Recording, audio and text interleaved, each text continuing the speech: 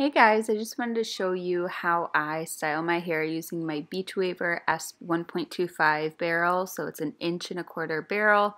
I'm also using the Beachwaver Great Barrier Heat Protectant Hairspray to spray on my hair before I curl it. Um, so it gives it that heat protectant, but it's also going to give it a little bit more of a long lasting curl. It's super lightweight and it smells great and it's really easy to work with the hair once it's sprayed on.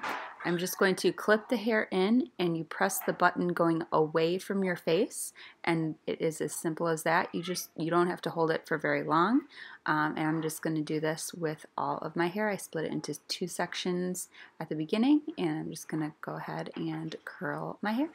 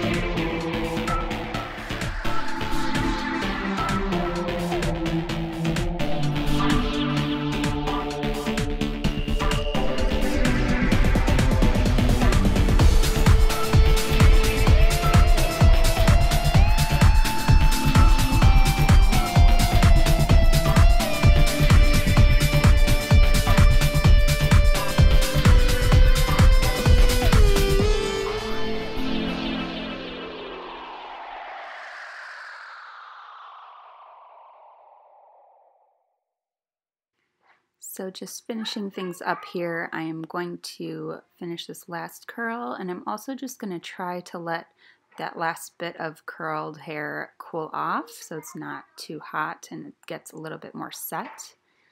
And I usually just kind of fluff everything together so that the curls aren't so separated just by flipping my hair forward and then reparting it once it's all cooled. And that is how you get some big glam waves using this awesome curling iron. I hope you guys enjoyed, and I will see you next time.